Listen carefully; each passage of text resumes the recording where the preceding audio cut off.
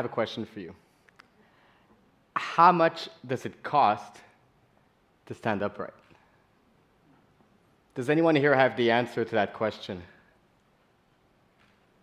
I'm not too sure anyone has the answer to that question. And besides, could it be that the answer differs based on the individual? In 1978, researchers asked themselves the same question. What they found out was that standing upright increases both heart rate and blood pressure. In 2016, the question is could it be that how we move, how we learn, and how we think is interconnected?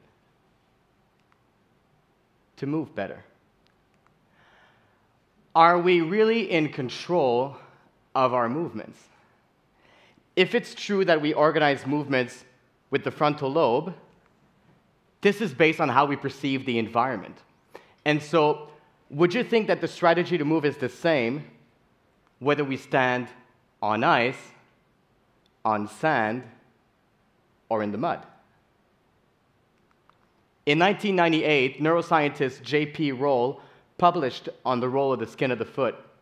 What he found out was that we use inputs from the skin of our feet to stand upright and to move.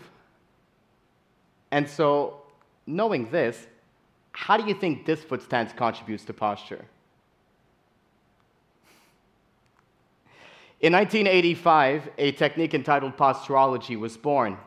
And posturology's aim is to stimulate the feet and the eyes with innovative technology and exercises to allow someone to stand upright optimally, and this is the kicker, without them having to actually think about it.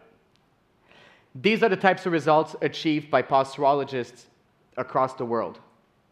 These are specifically from PosturePro, our research center here in Montreal. What you see here is what's possible with posturology. To learn better. How would you say movement and academics are related? Well, movement and academics actually share a common organ. That organ is called the cerebellum. It is postural muscles that are responsible for turning on the cerebellum, and postural muscles are the ones we use to stand upright. So, knowing this, when looking at these two individuals, which one do you think benefits from optimal information being sent from their muscles to the cerebellum in order to light up the entire brain? If it's true that the cerebellum turns on the motor areas of the brain, the cerebellum also turns on the language areas. And so, what you have to understand is that with a postural imbalance, it's the entire brain that doesn't get lit up to its full potential. And it is both movement and learning that suffer. Now, to turn on postural muscles, one needs to resist a force. And that force is the force of gravity. So the question is what happens when there's no gravity? In 1999, researchers actually looked at that. What they did is they scrutinized 29 different studies looking at six different cognitive measures. What they found out was that while in space, cognitive measures actually do appear to be affected. Meanwhile, here on Earth, in 2006, researchers studied the brains of adults with ADHD. What they found out is that there was a particular brain area that was smaller. And that area was for both movement and attention. That area was indeed the frontal lobe. And so, the next time you think of a learning disability, will you be able to think of this versus this? To think better.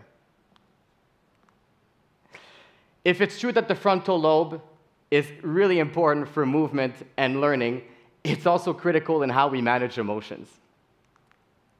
In 2015, researchers again studied the size of the brains, now this time of individuals that had a hard time managing stress Now, I'm not too sure where they found those people. They must be really hard to find.